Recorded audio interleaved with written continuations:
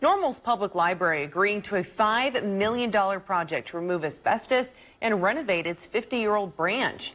The building, just blocks away from Illinois State University's campus, was built in the 1970s.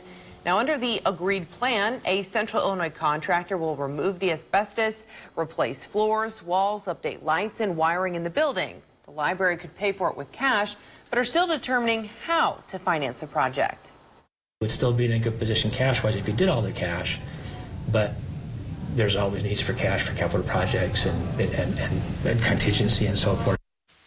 Now, the board is considering taking out a loan of around a million dollars, which will be paid back using property taxes over the next five years. The bulk of the project would be paid in cash. Now, according to the agreement, construction is set to start this spring. The library will be closed to the public, and it's not exactly known how long this project will take.